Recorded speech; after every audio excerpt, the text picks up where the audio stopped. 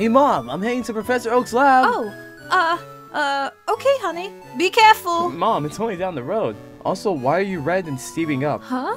Me? Red and steaming?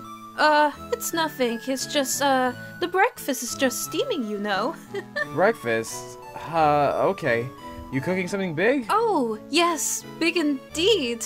Ah, yeah, a big hearty breakfast for my son. But it seems you don't need it now. Okay, Mom. Anyway, I'm heading out. Yeah. What was that? ah, must have been a Pidgey. You run along now. Uh, alright. Oh, that was strange. Oh, Oak's not in his lab. Maybe he's out at Route 1.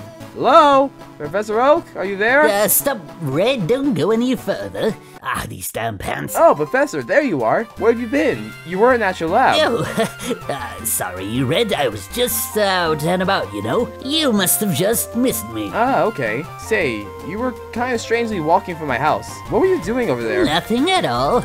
I'll just, uh, hold on, you stupid zipper. Okay, I just check it in with the locals, of course. You're very blushy right now. Oh, must be the weather. anyway, let's head to my lab. Come along. Uh, okay. Oh crap, my boxers are still stuck in their bush. Gotta get it real quick. Uh, uh, hey, I'll meet you at my lab, Red. You just go on ahead. Oh, alright, Professor Oak. First Mom acting all weird and now Oak? Was he having a steaming breakfast too? Something strange is going on.